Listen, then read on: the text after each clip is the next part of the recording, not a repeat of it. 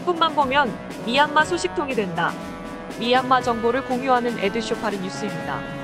오늘도 미얀마에 많은 관심을 가지시는 구독자 여러분들의 구독과 좋아요와 함께 뉴스를 시작합니다. 2021년 12월 9일 양곤 롯데호텔에서 민주평화통일자문회에 동남아 서부협의회 미얀마 지회가 개최하는 2021년 통일 강연회가 개최되었습니다.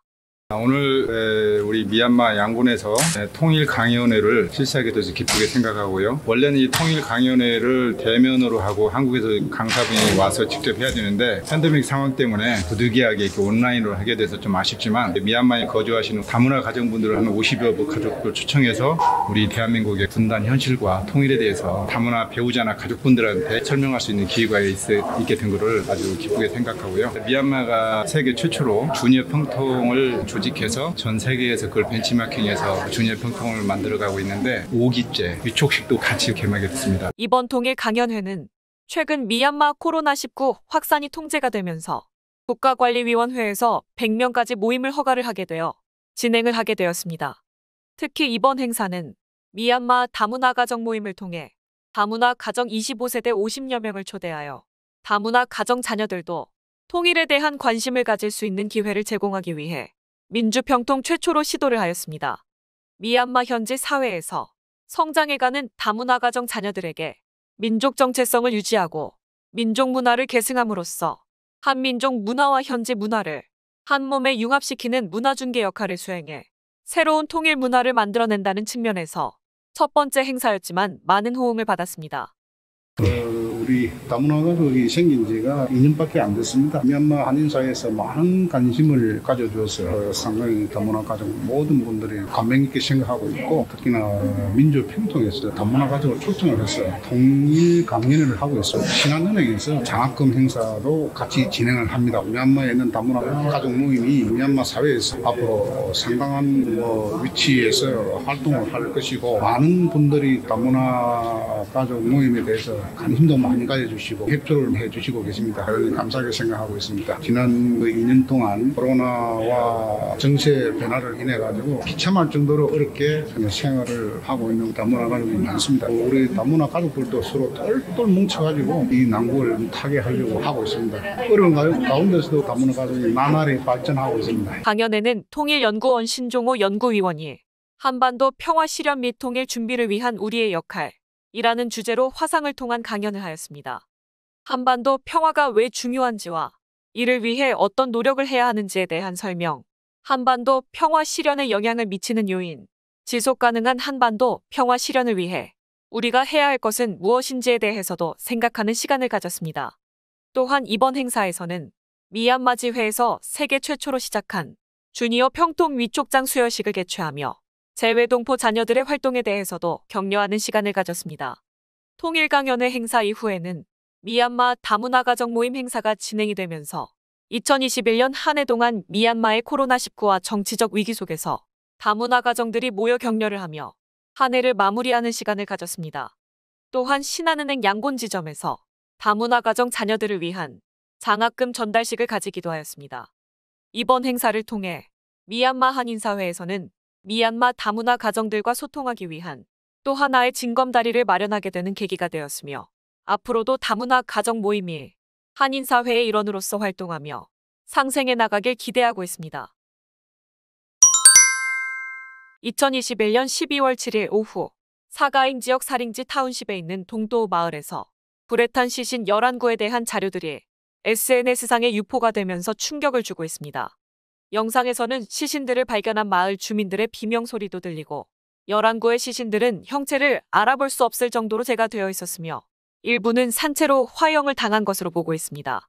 마을 주민들에 따르면 희생자들은 당일 오전 약 50명의 군인들이 마을을 급습하며 발포를 시작하였고 11명이 체포가 되어 일부는 손이 묶인 채 군인들에게 머리에 총을 맞아 사망했다고 주장하고 있습니다. 국민통합정부에서는 사망자 명단을 공개하며 이들 중 5명은 18세 미만의 청소년들이었다고 밝혔습니다. 하지만 국가관리위원회에서는 이번 사건의 보도에 대해서 국내외 언론들이 미얀마 국방부를 분열시키고 선동을 하기 위해 가짜뉴스를 퍼뜨리고 있다고 주장하였습니다. 사가잉 지역 사건에 대해선 미얀마 국방부와 전혀 관련이 없으며 이미지를 손상시키기 위한 음모라고 일축하였습니다. 이미 양곤 찌밍다잉 타운십에서 발생한 평화 시위 대 진압 사건에 대해선 3명이 부상을 입었다고 보도를 하였지만 국내외 언론사들이 5명이 사망을 하고 많은 부상자가 발생했다고 보도를 한 것에 대해 비난하기도 하였습니다. 미얀마 국방부는 예비군 확보를 위해 군인 자녀들을 대상으로 군사훈련을 의무화하는 발표를 하였다고 합니다. 2022년 4월부터 미얀마 국방부 소속 군인들의 자녀 중 15세 이상 모든 청소년들은 의무적으로 군사훈련을 받아야 한다고 합니다. 미얀마 아동권리운동가는 미얀마 법뿐만 아니라 국제법으로도 위반되는 것이라고 지적하였습니다. 이전에도 국방부 군인들의 가족들이 군사훈련은 받는 경우는 있었지만 군인 가족들의 유대감을 형성하는 게 주 목적이었으며 최근 군사훈련은 마친 아내와 자녀들은 샨주와 거친주, 마계 지역 경비 업무를 수행해야 하는 경우도 있다고 합니다. 전역 군인의 경우에는 급여를 높게 책정하여 하루에 8천 잣을 받고 마을과 경찰서 경비 임무를 맡기도 한다고 합니다. 2021년 12월 8일부터 미얀마 국내 이동통신사들은 교통통신부 명령에 따라 모바일 데이터 요금제를 인상하였습니다. 우레두와 텔레노는 1GB 모바일 데이터 요금제 가격을 1990짯으로 인상하였으며 MPT는 935MB를 1799짯, 마이텔은 512MB를 968짯으로 인상하였습니다. 이전 모바일 데이터 요금제와 비교를 해보면 우레도와 텔레노는 925MB를 999잣, MPT는 935MB에 999잣, 마이텔 920MB에 968잣으로 100%가량이 인상되었습니다. 올해도 슈퍼넷 와이파이의 경우 30일 사용료가 4만 5천 잣에서 7만 9천 잣으로 인상되고 90일 사용료가 12만 잣에서 20만 잣으로 인상되었습니다. 일부 요금제의 경우 가격 인상 대신 사용 가능 용량을 줄이기도 하였으며 전화 요금제의 경우 통화 시간을 줄이기도 하였습니다. 이런 요금 인상과 함께 페이스북 게시물에서는 모바일 데이터 사용량을 줄이는 방법에 대한 글들이 올라오며 정보를 찾는 네티즌들이 증가하고 있습니다. 2021년 12월 7일 미얀마 전력에너지부 산하 전력발전공사는 천연가스와 태양광을 함께 사용하는 하이브리드 발전소 2개 건설 사업에 대한 입찰 공고를 발표하였습니다. 이번 하이브리드 발전소는 BOO 방식으로 마계 지역 민지한 타운십에 건설할 계획이며 사업 완성된 후 15년까지 운영이 가능하다고 합니다.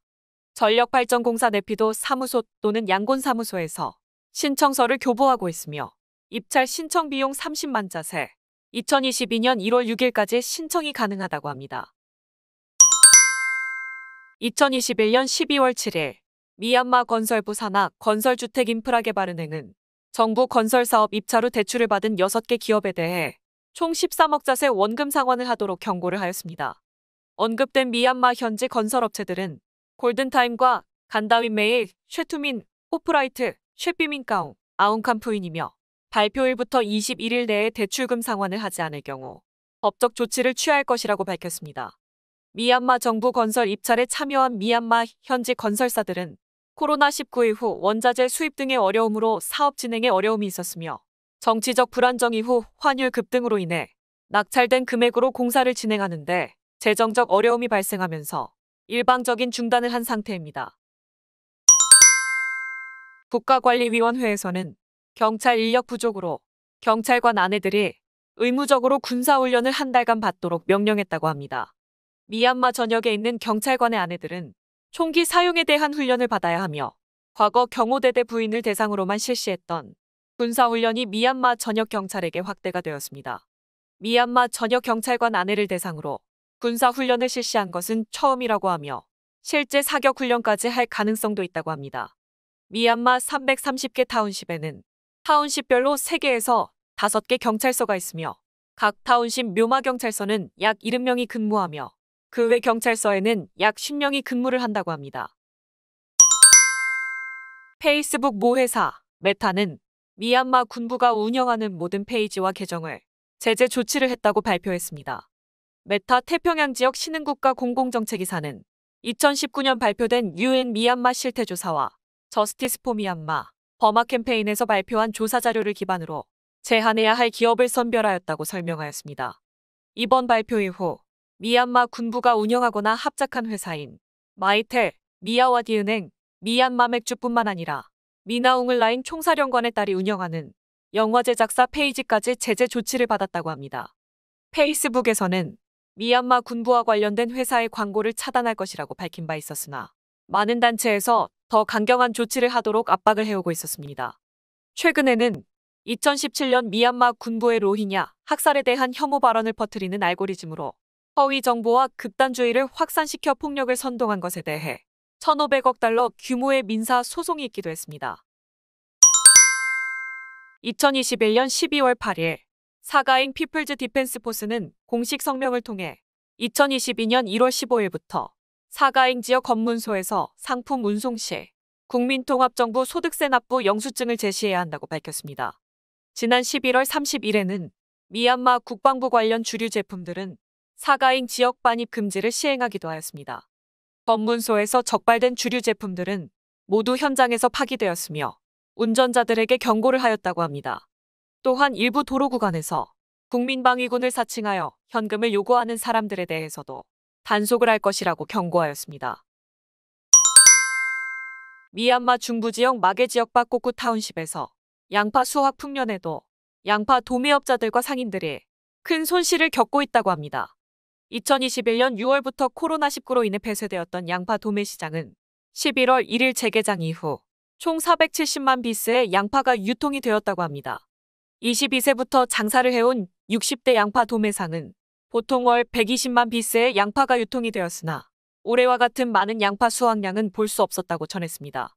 하지만 수확된 양파의 많은 부분이 수출을 해야 하지만 중국 미얀마 국경 게이트 제한으로 인해 양파 수출은 하지 못하는 상황이며 많은 수확량으로 인해 양파 가격은 급락하면서 많은 손실이 발생하고 있다고 합니다. 2021년 12월 10일 세계 인권이 날과 함께 미얀마 전역에서는 양곤 찌밍다잉 타운십에서 군용 차량이 평화 시위대에 돌진하여 많은 젊은이들이 사망하고 살링지 타운십 주민 11명이 화형을 당한 것에 대해 침묵 파업이 있었습니다.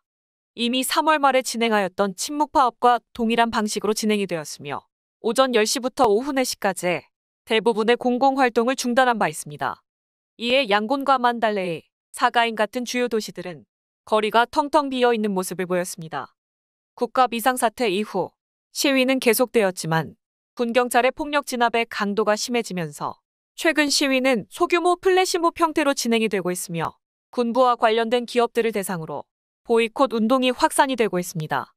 이에 대표적으로 마이텔과 미얀마 맥주는 큰 손실에 직면하고 있다고 합니다. 주미얀마 미국 대사관에서도 미얀마에 거주하는 미국인들을 대상으로 침묵 파업 당일은 집에만 있도록 안전공지를 하였습니다. 국가관리위원회에서는 이런 시도를 막기 위해 마게 지역과 에아와디 지역에서 상가 주인들이 계속 문을 열도록 명령하였다고 합니다.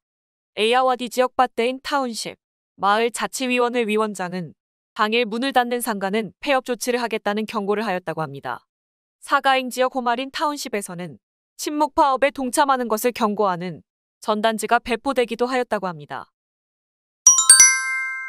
에드쇼파르 미얀마 뉴스를 끝까지 시청해주셔서 감사드리며 구독과 좋아요, 클릭을 부탁드립니다. 좀 더 상세한 미얀마 정보를 찾으신다면 에드쇼파르 뉴스 웹사이트도 추천드립니다. 에드쇼파르는 보다 많은 미얀마 정보를 공유하기 위해 노력하겠습니다. 감사합니다.